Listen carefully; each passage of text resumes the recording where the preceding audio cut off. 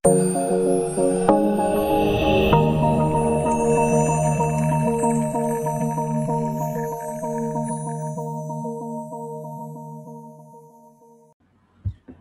ketemu lagi di channel Belajar Bersama Pak Seno. Nah, kali ini kita akan membahas tentang mengelola budaya dan etika. Nah, kita mulai dari pengertian budaya. Banyak para ahli yang mendefinisikan tentang budaya. Ya, dimulai dari tahun tertua, ya Wilkins tahun 1983 sampai dengan tahun termuda adalah Simon dan Kanuk tahun 2000. Nah, di sini masing-masing ahli tersebut dia mendefinisikan tentang budaya. Nah, dari definisi-definisi tersebut kita bisa simpulkan bahwa budaya itu adalah sesuatu yang dianggap biasa yang tentunya dia direspon ataupun didukung oleh lingkungan di sekitarnya. Biasanya di budaya ini ya, dia berlangsung dalam jangka waktu yang relatif lama Oke, nah manfaat budaya yang pertama adalah budaya itu dapat menetapkan tapal batas. Ya, jadi maksudnya itu merupakan satu ciri dari suatu organisasi atau suatu perusahaan yang membedakan antara satu organisasi dan juga satu perusahaan dibandingkan dengan perusahaan yang lainnya. Oke, kemudian yang kedua organisasi uh, di dalam organisasi ya budaya itu merupakan suatu rasa identitas bagi anggota atau orang yang bekerja di organisasi tersebut ataupun di perusahaan tersebut. Ya. Kemudian yang ketiga adalah budaya tersebut dapat menimbulkan komitmen ya, pada sesuatu yang lebih luas daripada kepentingan individual seseorang. Kita tahu bahwa kepentingan antara individu satu dengan individu lainnya itu ya tentunya saling ber, ada saling ada perbedaan di situ ya jadi dengan adanya budaya organisasi ya maka menciptakan komitmen ya terhadap budaya di dalam suatu organisasi tersebut. Kemudian yang keempat, budaya itu meningkatkan kemantapan sistem sosial. Ya, tentunya karena budaya dari organisasi atau perusahaan yang satu itu berbeda dengan organisasi atau perusahaan yang lainnya, ya maka itu merupakan suatu kemantapan di dalam sistem sosial ya. Jadi satu organisasi dengan organisasi lainnya tentunya merupakan keanekaragaman di dalam suatu organisasi. Ya. Kemudian yang kelima, budaya berfungsi sebagai mekanisme pembuat makna dan kendali yang memandu dan membentuk sikap serta perilaku para anggotanya. Ya, biasanya karena budaya ini ya kegiatan tersebut dilakukan dalam jangka waktu yang lama ya maka merupakan pemandu atau membentuk sikap terhadap perilaku para anggotanya. Contohnya misalkan kalau kita bekerja di suatu perusahaan ya kita mulai start masuk jam 8 ya sampai dengan pulang jam 5 ya maka itu merupakan panduan yang harus diikuti di organisasi atau perusahaan tersebut. Ya. Oke, nah di sini tingkatan budaya organisasi ya ada cerita yang menyebabkan nilai inti, kemudian ada upacara ritual, kemudian atau harus yang menunjukkan suatu nilai ya, di dalam organisasi atau perusahaan. Di sini ciri-ciri dari budaya organisasi yang pertama adalah budaya itu diciptakan. Ya, jadi budaya itu bisa diciptakan. Ya, kalau kita mempunyai kegiatan, ya kegiatan tersebut dilakukan dalam jangka waktu yang lama, maka akan tercipta suatu budaya. Jadi budaya itu diciptakan. Kemudian yang kedua adalah budaya itu dipelajari. Ya, jadi budaya dari suatu organisasi atau perusahaan itu bisa dipelajari. Kemudian budaya secara sosial diturunkan. Nah ini, jadi budaya itu bisa diturunkan, ya maka Kenapa bisa diturunkan? Karena kita bisa mempelajari budaya suatu organisasi atau budaya suatu perusahaan. Nah, budaya tersebut merupakan kegiatan yang dilakukan dalam jangka waktu yang lama yang tentunya itu akan menjadi suatu kepercayaan di dalam suatu perusahaan. Kemudian budaya bersifat adaptif ya atau men, bisa ditularkan kepada orang lain. Nah, ini adalah budaya. Kemudian kita membahas tentang etika. Ya, etika itu adalah keyakinan tentang benar atau salah dan baik atau buruk. Nah, kalau kita berbicara tentang etika itu adalah keyakinan kita terhadap segala sesuatu. Nah, hal tersebut tentu saja antara seseorang dengan orang yang lainnya itu bisa saja meyakini bahwa suatu kegiatan itu baik, belum tentu orang lain juga menilai baik. Ya, tentu saja orang lain bisa menilai yang sebaliknya. Ya, oke. Nah, jadi perilaku etis adalah perilaku yang sesuai dengan keyakinan individual dan norma sosial dengan tindakan yang benar dan baik. Ya.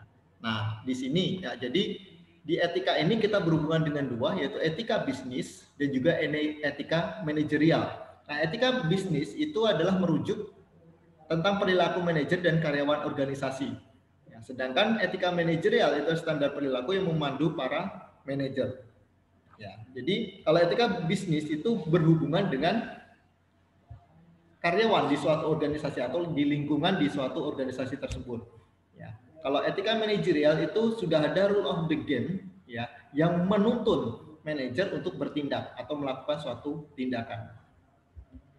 Nah, nah tiga kategori dari cara etika manajerial. Ya, yang pertama adalah perilaku terhadap karyawan, perilaku terhadap organisasi, perilaku terhadap agen ekonomi lainnya. Nah, ini bagaimana cara manajer ya untuk berperilaku ya terhadap karyawannya, terhadap organisasi dan juga terhadap lingkungan-lingkungan di sekitarnya.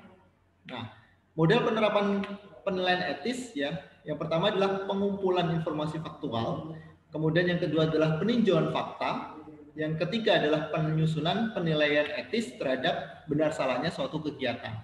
Ini adalah bagaimana caranya kita menerapkan penilaian etis ya, terhadap suatu kegiatan.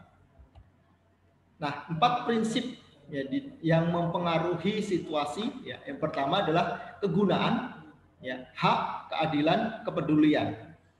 Nah, kemudian kita lanjutkan di sini tentang tanggung jawab sosial. Ya suatu organisasi.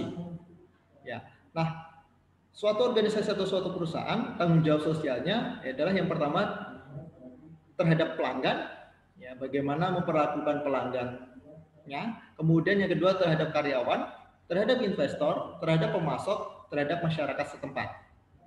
Nah, di tanggung jawab sosial ya terhadap lingkungan, pelanggan, karyawan dan investor kita lihat terhadap lingkungan, ya, bagaimana caranya perusahaan tersebut dia bertanggung jawab terhadap lingkungannya.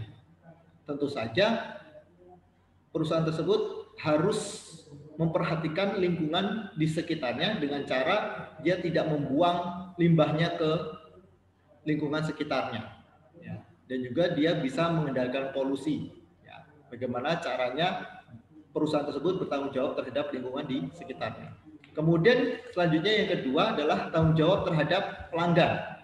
Nah, tentunya perusahaan tersebut harus memperhatikan hak dan kewajiban dari konsumen. Nah, hak konsumen di sini adalah konsumen dia berhak untuk memilih barang atau produk yang aman. Ya, kita harus menjelaskan produk tersebut seperti apa, komposisinya seperti apa dan lain sebagainya. Kemudian yang kedua ya konsumen tersebut mempunyai hak tentang apa pun yang berkaitan tentang produk ya tentang itu komposisi produk ya tentang itu harga produk dan lain sebagainya nah kemudian konsumen mempunyai hak untuk didengar ya. konsumen berhak untuk memilih apa yang mau dia akan beli ya. kemudian konsumen berhak untuk mendapatkan informasi di dalam pembelian Kemudian konsumen juga berhak untuk mendapatkan pelayanan yang ramah. Nah, ini adalah tanggung jawab perusahaan terhadap pelanggan. Kemudian tanggung jawab perusahaan terhadap karyawan, ya. Perusahaan tidak boleh membeda-bedakan karyawan. Mentang-mentang dia berkulit hitam misalkan, ya, ataupun dia miskin misalkan, ya, dia tidak boleh membeda-bedakan karyawan yang ada di tempat dia bekerja. Ya, jadi semuanya dianggap sama. Semua berhak untuk meniti karir ya dengan struktur organisasi di perusahaan tersebut. Kemudian tanggung jawab terhadap investor ya tanggung jawab dari investor ini tentunya tidak menyalahi aturan ya terhadap investor. Ya, contohnya adalah kita melaporkan laporan keuangan kita ya dengan laporan keuangan yang palsu misalkan. Ya. Kemudian kita memberikan cek ternyata cek tersebut kosong.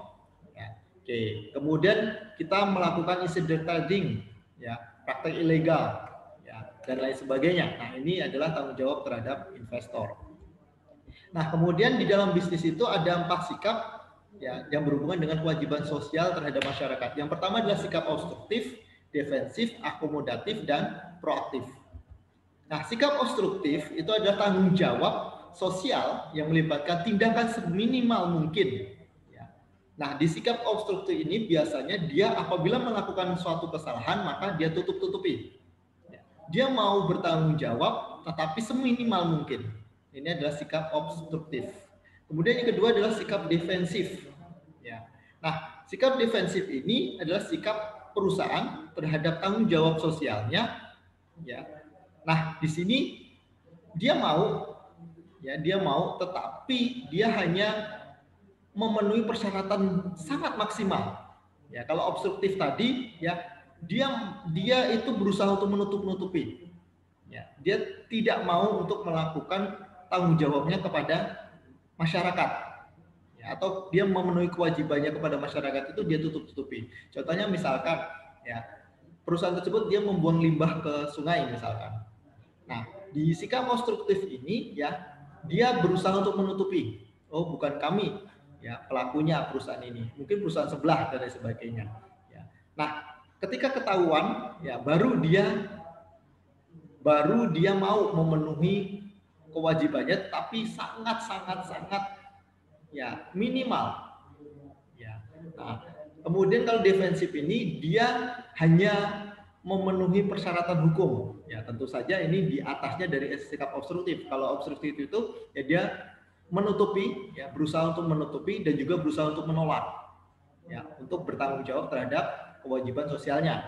Ya. kalau defensif ini dia mau bertanggung jawab ya tetapi seminimal mungkin Kemudian sikap akomodatif ya, dia mau untuk bertanggung jawab terhadap kewajiban sosialnya ya, ya melebihi dari minimal syarat minimal. Ya dia mau dia mau untuk bertanggung jawab atau memenuhi kewajiban sosialnya ya.